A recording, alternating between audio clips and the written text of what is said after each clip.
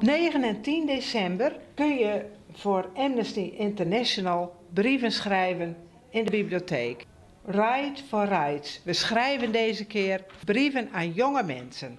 Thea vertelt er wat over. Brieven schrijven heeft effect. Vorig jaar, in 2018, kwamen vele mensen vrij. Onder andere Carmen uit El Salvador. Zij was in verwachting, heeft vele hulpdiensten gevraagd, gebeld om hulp, maar de baby werd doodgeboren. Zij is beschuldigd van abortus en zat gevangen. Door het schrijven is ze vrijgekomen. Kom schrijven in de bibliotheek. Schrijfbenodigdheden liggen klaar. Voorbeeldbrieven liggen klaar.